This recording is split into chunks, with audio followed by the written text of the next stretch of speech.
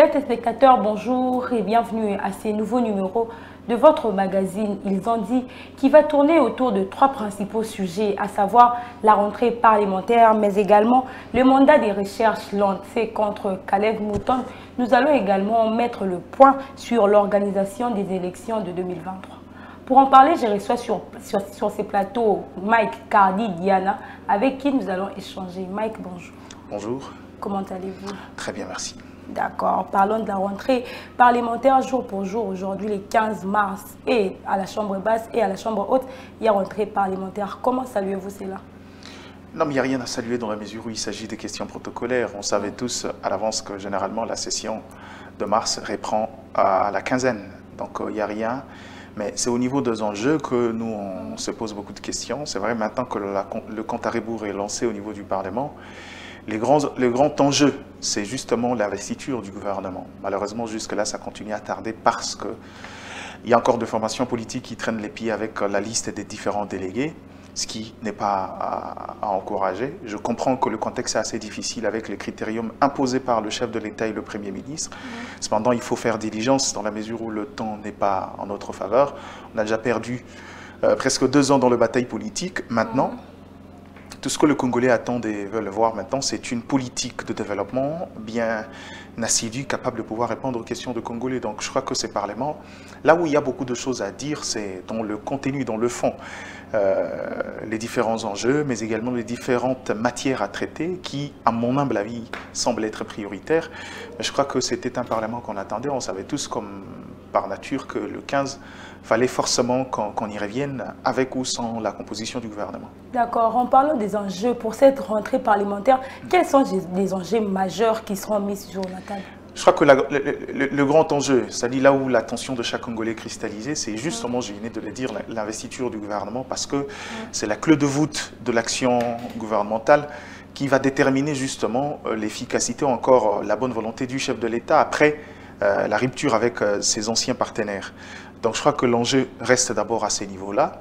Mais le deuxième enjeu, c'est que ces parlements, c'est vrai, on dit autorité budgétaire, doit prouver à suffisance dans ses orientations face à ses gouvernements l'envie de pouvoir aller dans la politique des résultats. C'est-à-dire sur le plan économique, on, souhaiterait que cette fois-ci, ces parlements arrêtent de jouer un rôle passif dans les questions de, de répartition et orientation budgétaire, que ces parlements ainsi essayent d'assigner des objectifs très clairs à ces gouvernements, parce que le Parlement en a le droit en tant qu'autorité budgétaire, qu'on mobilise à ces défenses parce qu'il y a autant d'enjeux je parle de questions économiques avant parce que pour les différents secteurs prioritaires comme l'éducation, la sécurité, mmh. il faut de moyens. Qui est déjà fragilisé Bon, pas forcément. C'est-à-dire on est dans une période où il nous reste peu de temps, mais il faut relever des défis énormes. Le premier défi, humainement et politiquement parlant, c'est la question de la sécurité à l'Est. La question de la sécurité de l'État est une question prioritaire, mais il y a une condition sine qua non, c'est qu'il faudra que l'État arrive à mobiliser autant de fonds pour pouvoir soutenir cette politique euh, euh, au niveau de cette politique de la sécurité, ou à mon humble avis, je crois qu'à un certain moment, il faudra qu'on fasse parler la puissance de feu de la République démocratique du Congo. C'est pas pour rien qu'on est dans le top 10 des meilleures armées de l'Afrique, mais surtout en termes stratégiques, en termes d'études, en termes de travail, il faut beaucoup de moyens pour pouvoir élaguer cette question-là. Mais après, il y a la question de l'éducation, euh, qui également euh, tient lieu de, priorité, mais le tout s'englobe sur une seule question prioritaire, c'est qu'il faudra qu'on ait une économie à la hauteur cette fois. C'est pour ça que le chef de l'État a mis un gouvernement euh, entre guillemets des technocrates, parce que le Premier ministre est un technocrate. On espère qu'il se fera entourer par des technocrates dans des questions un peu plus spécifiques pour pouvoir apporter plus de résultats et résoudre en ces quelques deux années et six mois qui restent les difficultés qui ont plombé le mandat de Félix Tshisekedi depuis le départ. Donc je crois qu'à ce stade ici, à mon humble avis, c'est ça les grandes priorités. Et pour ça, il faudra que ces parlements soient compacts, il faudra que ces parlements aient conscience des enjeux, comprennent que les velléités politiciennes, c'est vrai qu'existent de fait, mais les questions les plus importantes, c'est maintenant le Congolais attendent et même eux, au-delà du chef de l'État, seront jugés doublement parce que maintenant, ils ont la voix libre pour pouvoir agir sans contrainte. En parlant des gouvernements comme enjeu majeur, qu'est-ce qui bloque cette sortie jusqu'à ces jours Parce qu'un mois déjà, jour pour jour, depuis que les premiers ministres avaient été investis, jusqu'à là, pas de gouvernement. En fait, parlant de blocage, ce qui retarde, je crois que sémantiquement, ça sera le mot qui me, semble être plausible, dans le sens où on est dans une configuration de coalition. Euh, contrairement à l'avant, où le chef de l'État avait un seul interlocuteur, c'était le FCC, maintenant le chef de l'État a plusieurs interlocuteurs qui sont venus en ordre dispersé. Le problème, c'est que c'est vrai, si je dis qu'il faudra satisfaire le gens, c'est un peu péjoratif dans cette dynamique que le chef de l'État a engagée, il a besoin d'être accompagné. Il avait besoin d'être accompagné, c'est pourquoi les autres ont rejoint la barque. Maintenant, il faudra distribuer le rôle, que chacun sache quel est le rôle qu'il joue dans ce nouveau paradigme pour qu'à la fin des comptes, comme d'habitude, on est en politique, que chacun essaye de donner de son intelligence, mais également partager justement cette vision avec le chef de l'État. Je crois qu'à ce stade ici, ce qui retarde un tout petit peu, c'est qu'il y a d'autres familles politiques qui doivent encore mettre un peu de clarté dans la liste de candidats, où il faut encore discuter sur de noms de personnes selon les critériums établis. Euh, les ambitions personnelles aussi et les égaux qui parlent au niveau de formation politique, ce sont de fait. Maintenant, la question c'est qu'il faudra qu'on euh, comprenne qu'il y a une euh, urgence, il faudra faire vite, il faudra faire diligence. je crois que dans la mesure du possible, je crois que dans 48 heures, 72 heures, on aura déjà le gouvernement parce que le Parlement est déjà là et il ne fait qu'attendre. Est-ce qu'une fois les gouvernements sortis, on peut, euh, est-ce qu'on peut s'attendre à ce que l'union sacrée soit brisée une fois les gouvernements sortis, avec toutes ces adhésions massives qu'on a vues? Bon, ce qui est sûr, c'est qu'il y aura forcément de gens des mécontents qui euh, finiront par partir parce que leur, euh, en fait, leur but était de pouvoir prendre part dans les institutions, par exemple, être mandataire ou être ministre. Ça, c'est le propre des acteurs politiques congolais. Ce sont des antivaleurs qu'on est en train de combattre. Mais ce qui est sûr, c'est que le plus important, c'est que, que cette dynamique-là reste compacte. Tant que cette majorité a conscience de la direction à prendre, tant que cette majorité a conscience des actions à mener, tant que cette majorité a conscience des défis à relever, c'est le plus important. Que les individualités partent, ce n'est pas un problème. D'ailleurs, c'est comme je dis, l'un des plus grands problèmes, c'est que dans le contexte actuel, le Congolais ou l'homme politique congolais n'a pas encore compris que dans cette coalition, s'il faut faire valoir ses compétences, s'il faut prétendre à des postes ministériels, c'est au niveau de sa formation politique, non pas chez le Premier ministre. Le Premier ministre traite avec les regroupements politiques ou les différentes euh, structures. Maintenant, c'est euh, aux individus de pouvoir parler au niveau des structures pour pouvoir faire valoir ce sont, de quoi ils sont capables et en fin de compte être sur la liste de ces différents regroupements et structures. Donc ça ne sert à rien de pouvoir aller de manière individuelle crier ça et là. La politique ne marchera pas comme ça, sinon les gens qui ont fait tomber le, bureau Mabunda, ils sont combien? C'est plus de 340 quelques députés. On n'aura pas un ministère de 300 quelques. Même si on voulait partager et le gouvernement et les, portefeuilles de l'État, euh, on n'a pas 347 euh, entreprises à distribuer aux gens.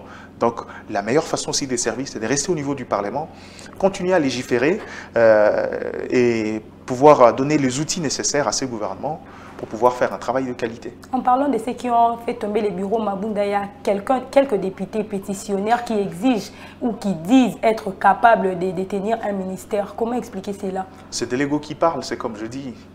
En fait, on est en politique on peut définir euh, une euh, téléologie collective, mais le plus important, c'est que chacun, chacun agit avec des agendas personnels.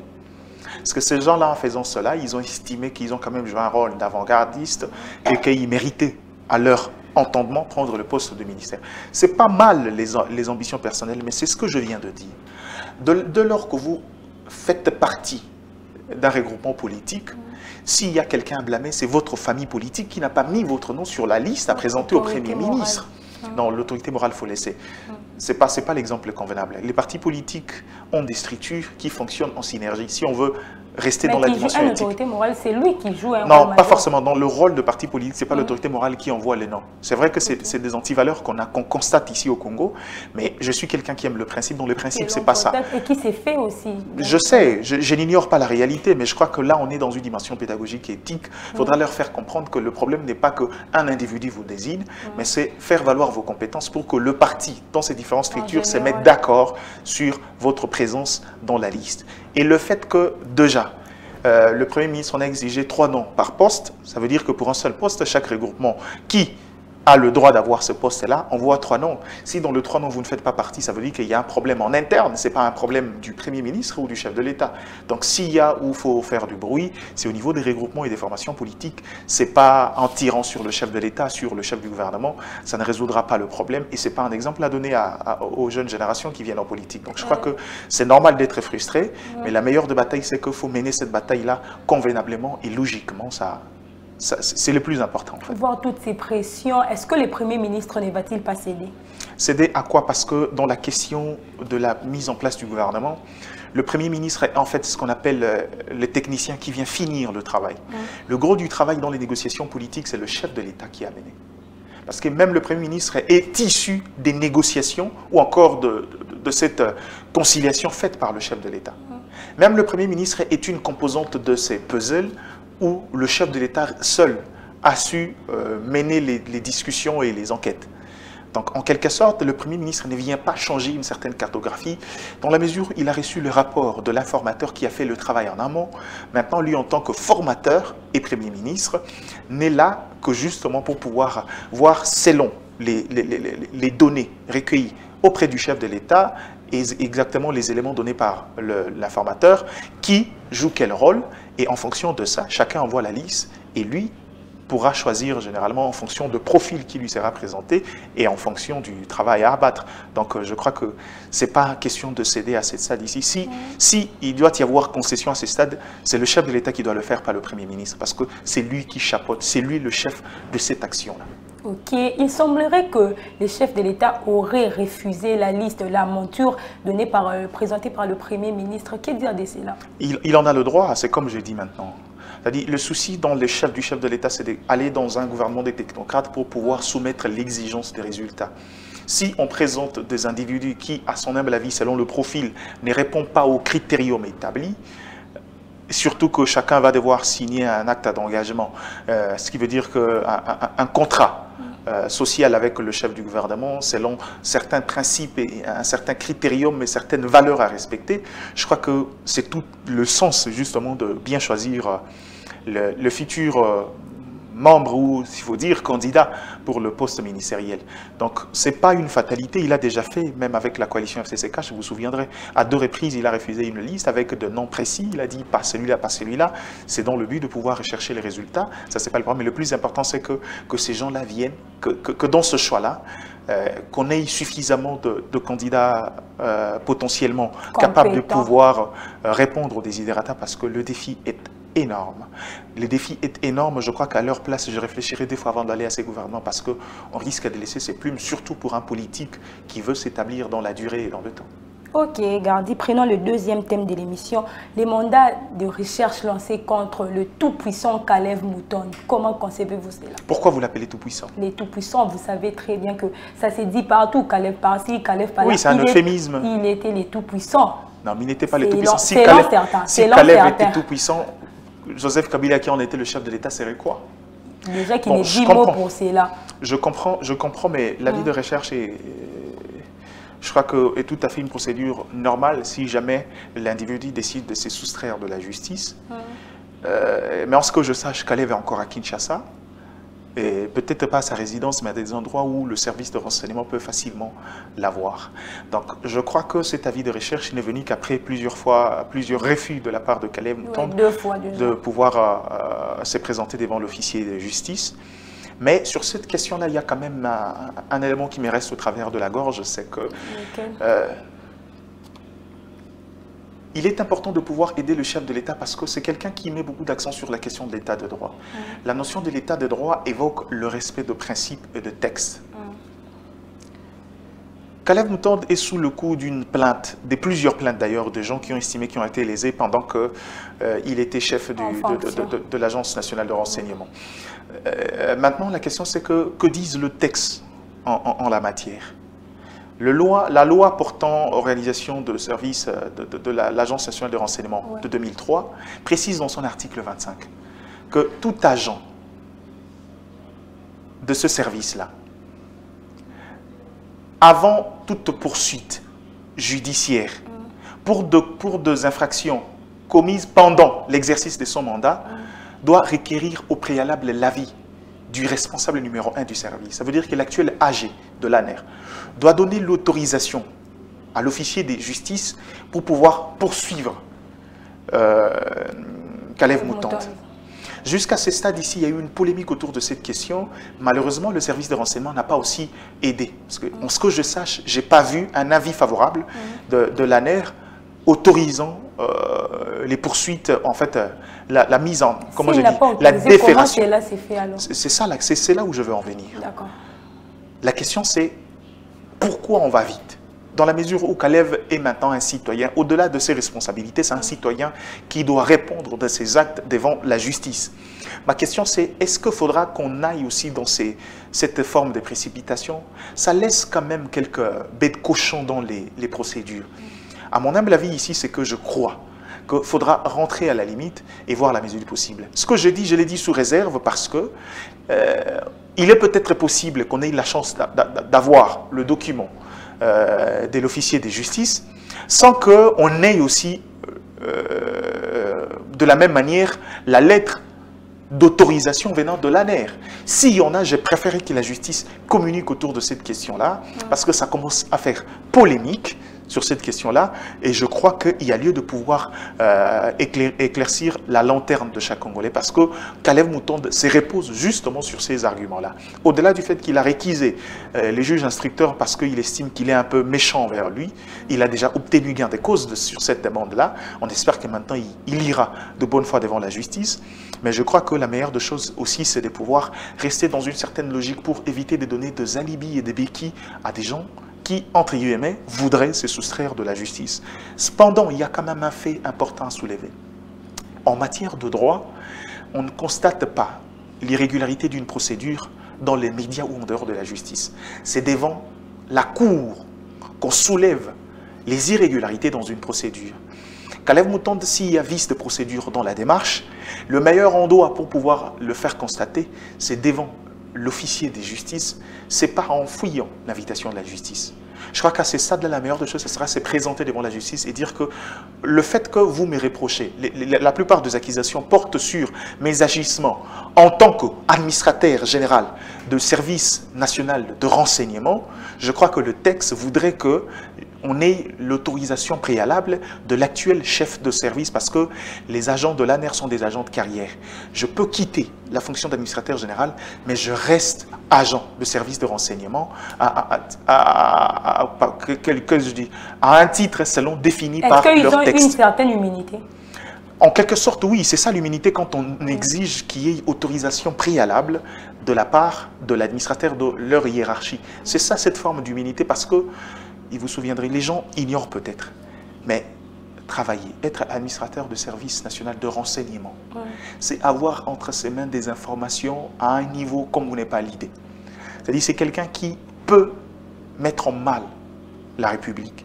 Donc, ce qui fait que des gens pareils, à un certain moment, il faut une certaine discrimination positive pour pouvoir leur permettre, pour pouvoir sécuriser au-delà, non seulement les individus, mais sécuriser plutôt les éléments en leur possession. Oui, les pays, tout entiers, si on doit dire. Exactement. Donc je crois que la meilleure des choses ici, sur cette question, il nous faut beaucoup d'éclaircissements, mais je demanderai à Kalev Mouton, s'il est vrai qu'il a les informations, qu'il n'y a pas eu autorisation préalable, parce que le fait dont on lui reproche, c'est des faits commis pendant l'exercice de, de ses fonctions, c'est à lui d'aller le dire devant la cour, devant l'officier de justice, et pour que finalement qu'on rentre dans le droit chemin. En parlant de ces agissements, est-ce que Kalev Mouton avait agi étant patron de l'ANER ou étant individu? Parce que si étant patron de l'ANER, ne pensez-vous pas que certains cadres de l'ANER auront peur d'agir maintenant, de peur qu'après leur fonction, qu'ils soient poursuivis? Euh, Cette hypothèse-là, je ne sais pas quoi dire dessus. Mais je ne pense pas que ce soit le cas. Les agents de l'ANER ou encore le responsable, la hiérarchie de l'ANER qui doit donner l'autorisation, comprend que quand on a été dans ces hautes fonctions-là, dans ces, genres de hautes fonctions, la meilleure des choses à faire, c'est que c'est de pouvoir sécuriser les éléments en possession de la personne. Dans des États non démocratiques, on tue généralement des gens de ce genre-là. Vous comprenez Le problème, c'est que c'est une question de procédure. Ça n'a rien à voir avec le fait que non, si, vous craignez ce genre d'histoire, ça veut dire que vous-même, vous vous reprochez de quelque chose et vous n'êtes pas dans la bonne direction. Quand on fait son travail de manière orthodoxe, on n'a pas à craindre que le lendemain, on soit poursuivi pour des actes commis parce que même un agent de l'ANER dans ses agissements, il y a des limites, il y a des principes, il y a des textes qui cadrent les actions de ce service-là. Ce n'est pas un service à part entière qui agit sans texte ni loi. Je crois qu'il y a de loi, il y a des principes qui euh, régissent ces secteurs-là ou ces, métiers-là. Euh, quoi de plus normal pouvoir respecter Si on ne respecte pas, on est justiciable devant la justice. Eu égard à toutes, ces, à toutes ces démarches et voir les propos de Kalev Mouton, selon lui, il ne se reproche de rien, il ne comprend rien. Est-ce que cela n'est pas, sous une, c'est pas comme euh, un règlement de compte? Un règlement de compte, c'est trop dire. Parce que je crois que si on veut aller dans la théorie de, règlement de compte, beaucoup de gens, beaucoup de caciques de l'ancien régime seront passés au, au peine fin aujourd'hui. Donc, je ne sais pas, peut-être dans l'intention des gens qui le font, mais moi, je ne sais pas le dire, je ne sais ni affirmer ni infirmer cette thèse-là. Tout ce que je constate, c'est qu'il y a eu des plaintes, des, citoyens, c'est-à-dire des privés. ils sont connus, Mouyambo et les autres, les Diobidongala, qui ont porté plainte pour des infractions diverses. Je crois que le bon sens voudrait que ces derniers répondent. mais dans le principe, selon que le texte régisse les fonctions, surtout pour euh, les fonctions qui sont à Kalev Moutonde. Alors, euh, si Kalev Moutonde est si innocent qu'il est dit, pourquoi fuit-il jusqu'à ces jours? C'est ce que je dis. Je crois que le problème aussi, c'est ce que vous venez de dire. Dans sa tête, il, mm. craint qu'il y a des gens qui en veulent en fait à sa vie parce qu'il y a un fait qu'on ne peut pas nier, c'est que il n'est plus peut-être administrateur général de, de, l'ANER, mais c'est encore quelqu'un qui, a des grandes oreilles. Des grandes oreilles. Ça dit, c'est quelqu'un qui a encore cette capacité d'anticiper, d'avoir des informations à une certaine dimension que les citoyens lambda n'auront jamais. Mais je crois qu'il n'y a rien à craindre à ces stades-là. La meilleure des choses à faire si on pense qu'on est innocent, c'est comme je l'ai dit, on est en matière de droit, c'est d'aller prouver à suffisance qu'il y a vice des procédures et c'est prouver devant l'officier de justice que justement ce qu'on a fait, on l'a fait dans le cadre de limites fixées par notre travail et qu'on se reproche de rien et qu'on est dans, dans la légalité. Je crois que c'est la meilleure des choses. Prenons le dernier thème de l'émission, l'organisation des élections 2020, en 2023. L'UDPS conditionne la tenue de ces élections par un recensement. Comment analysez-vous ces faits? La confirmation que l'UDPS conditionne la tenue de ces élections par le recensement, officiellement, je n'ai pas vu un communiqué de l'UDPS conditionnant. Il s'agit plutôt des déclarations isolées de certains cadres de l'UDPS.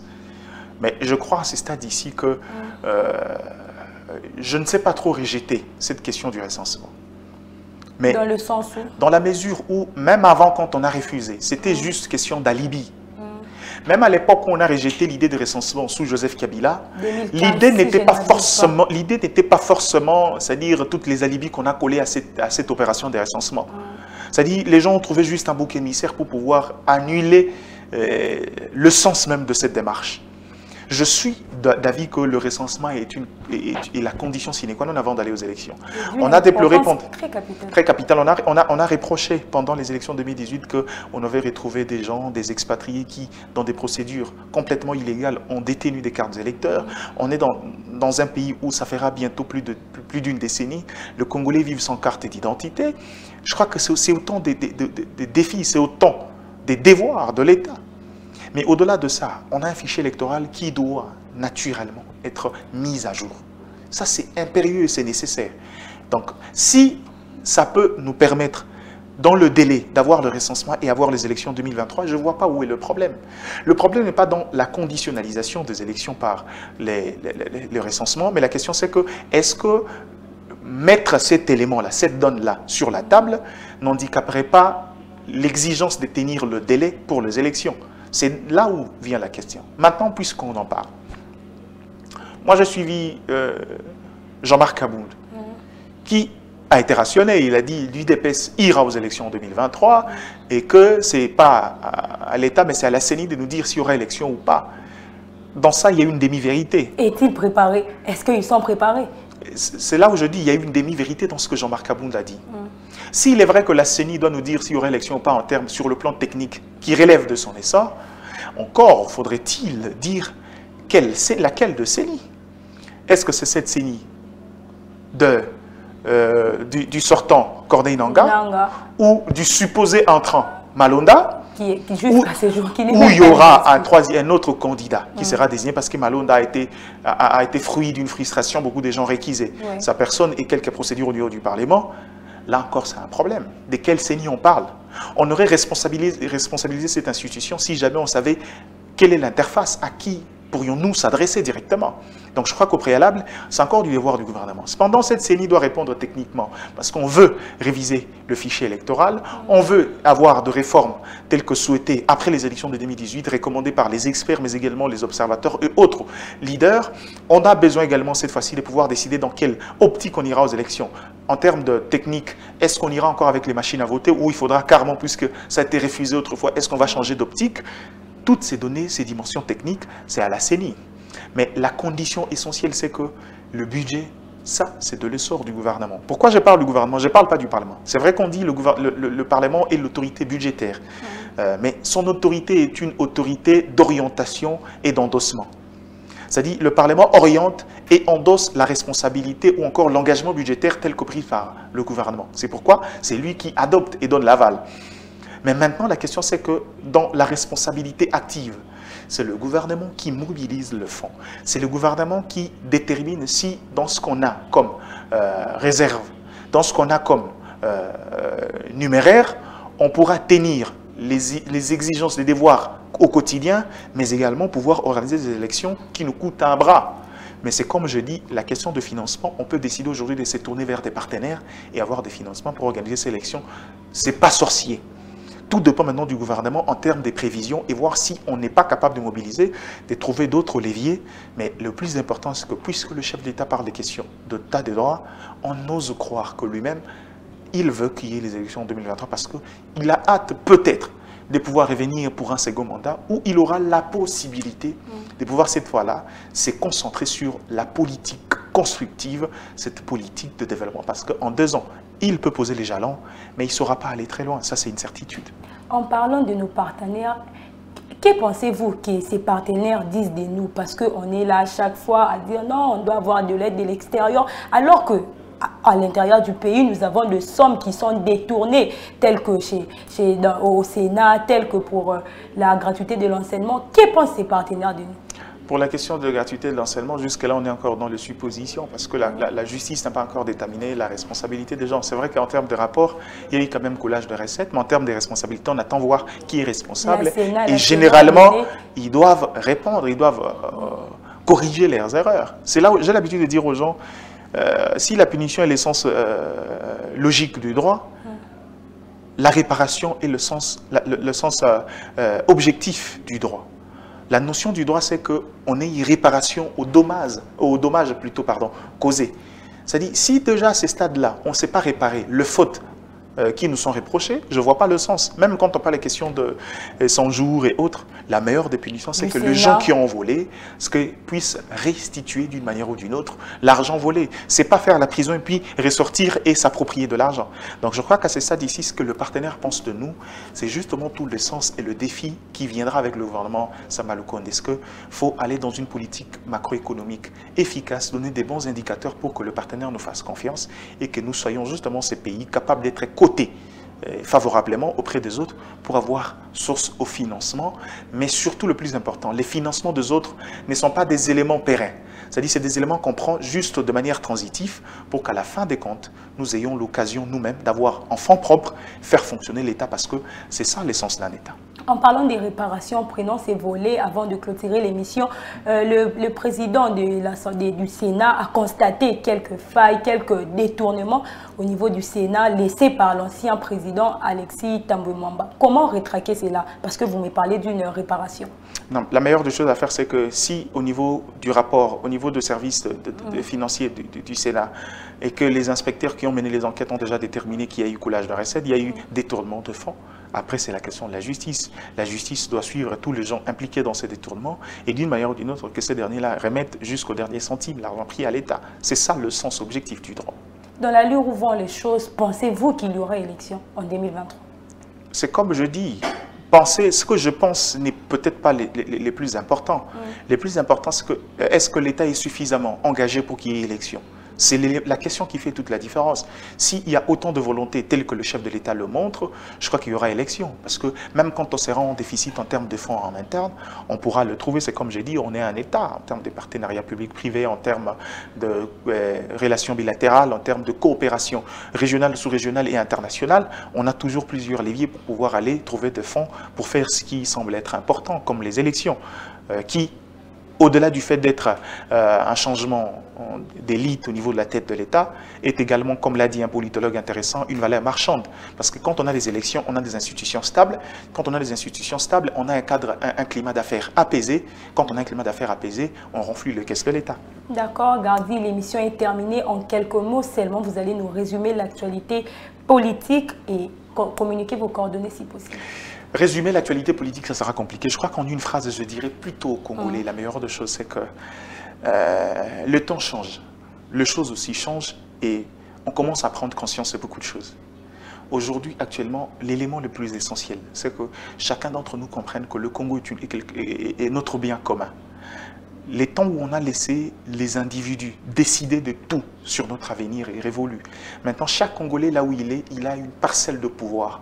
Rien que par savoir, rien que par euh, son acte posé, rien que par sa mobilisation, rien que par euh, son coup de gueule, peut décider de s'entourer des gens, échanger les choses. Je crois que maintenant, là, chaque Congolais doit prendre conscience que le Congo maintenant a besoin d'une forme de leadership éclairé, un, leadership, euh, voulais-je dire, un leadership éclairé, un leadership qui engage chaque citoyen, comme le disait Mouzé, dans, dans les questions de la défense nationale. C'est ça notre combat, et il n'y en a pas d'autre vos coordonnées si possible avec, pour toutes ces personnes qui voudront continuer l'échange avec vous L'échange, moi je crois que j'ai un seul numéro, c'est le numéro WhatsApp, c'est les 081 99 88 572. On parle généralement Congo, c'est l'élément le plus important pour nous. D'accord, merci de votre passage. Merci à vous et merci surtout à la grande équipe. Fin de cette émission, merci à vous tous pour votre sympathique attention. Restez branchés à Congo Buzz Télévision. D'ici là, portez-vous bien.